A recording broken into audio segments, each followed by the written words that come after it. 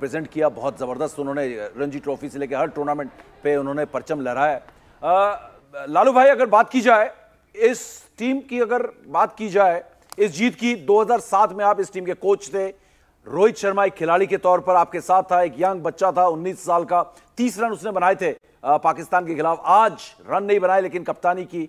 ये रोहित से मैं शुरू करना चाहता हूँ। ओवरऑल पूरी टीम की बात करेंगे। रोहित से पहले एक बार रविंद्र जडेजा के बारे में बात कर लेते हैं। टी ट्वेंटी क्रिकेट से उन्होंने संन्यास ले लिया है। हाँ, तो रविंद्र जडेजा को लेकर भी ये बड़ी खबर है। इंटरनेशनल टी ट्वेंटी से उन्होंने संन्यास ले लिया। ये तीसरा संन्यास है जो अभी हमें दो दिनों में सुनने को मिल रहा है। पहले विराट कोहली ने अनाउंस किया और उसके बाद रोहित शर्मा ने। और अब एक और बड़ा झटका है। हालाँकि ये फॉर्मेट रहता है क्योंकि हर बल्लेबाज या फिर हर गेंदबाज जो भी अपने आप को जिस तरीके से जिस कंफर्ट में देखता है वो उस हिसाब से अपनी पारी को आगे खेलता है और यही वजह कि रविंद्र जडेजा ने भी संन्यास ले लिया। लेकिन इसी पर लालचंद जी से भी रिएक्शन ले लेते हैं। लालचंद जी क्योंकि पहले विराट कोहली उसके बाद रोहित शर्मा और अब रविंद्र जडेजा।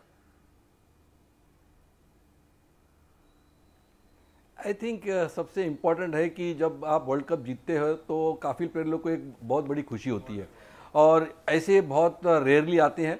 और वर्ल्ड कप हर टाइम अब जीतते नहीं है। देखो, हमने 2007 में जीता था, अब 17 साल के बाद फिर जीता है। तो काफ़ी प्लेयर लोगों का, हम लोग कहते हैं लास्ट लेग पे है। इसीलिए विराट कोहली ने रिटायरमेंट कर ली रोहित शर्मा ने कर ली। और अब की बात है कि इमीडिएटली जडेजा ने रिटायरमेंट कर ली तो मुझे लगता है कि अफसोस की बात है कि जडेजा और भी काफ़ी साल खेल सकते थे because he is fully fit और इतना एनर्जेटिक है बॉलिंग करते हैं बैटिंग करते हैं और ओवरऑल देखा जाए तो उसमें पास जो हम लोग कहते हैं ना कि टेबल के ऊपर पूरा एक पैकेज आता है आई थिंक एक सरप्राइजिंग है, लेकिन सबको एक खुशी होती है कि हम अच्छे मोड पे जाए। जैसे कि वर्ल्ड कप जीते तो उसके बाद रिटायरमेंट ले, लेकिन वो डेफिनेटली टेस्ट क्रिकेट और वनडे क्रिकेट तो खेलेंगे। बिल्कुल, और एक और जाना माना चेहरा राजकुमार जी भी हमारे साथ जुड़ गए राजकुमार शर्मा, विराट कोहली के कोच इस वक्त जुड़ गए तबीयत खराब थी पिछले कुछ दिनों से, लेकिन अब तबीयत बिल्कुल राजकुमार जी दुरुस्त लग रही है आपकी मुझे, क्योंकि जोश और खुशी जो है, तबीयत ठीक कर देती है। लेकिन विराट ने रिटायरमेंट तो ली टी से, लेकिन वर्ल्ड कप जिताने के बाद नहीं समीप मेरी वो तबीयत खराब नहीं थी। मैं बहुत ज़्यादा बिज़ी था। अच्छा। ऐसा कुछ नहीं बिल्कुल बिज़ी था मैं और ये स्पोर्ट्स के शोज़ में ही बिज़ी था। तबीयत भगवान की दुआ से बिल्कुल ठीक थी। अब विराट की रिटायरमेंट यस हाईएस्ट पॉइंट पे जाकर उसने रिटायरमेंट ली है इससे अच्छा मौका क्या हो सकता है कि भारत वर्ल्ड कप जीता है और उसके फाइनल में वो मैन ऑफ़ द मैच है। तो I think he chose a very right occasion और इससे बड़ा ओकेजन हो नहीं सकता था ऐसा कोई डिसीज़न लेने के लिए।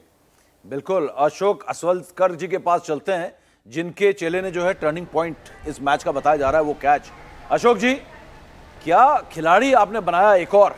सूर्य कुमार यादव, कितने खुश हैं? वर्ल्ड कप जीतने से तो हम सब खुश ही हैं, लेकिन सूर्य कुमार यादव के इस परफॉर्मेंस और इस कैरेक्टर के बारे में कुछ बताएँ हम सबको। कैरेक्टर तो क्या है? सूर्या बोलेगा तो हमारे लिए तो एक बच्चा ही है। और हम लोग तो सूर्या को तो बचपन से ही बच्चे के जैसे ट्रीट कर रहे थे। और मेरा तो वो तो फैमिली मेंबर ही है तो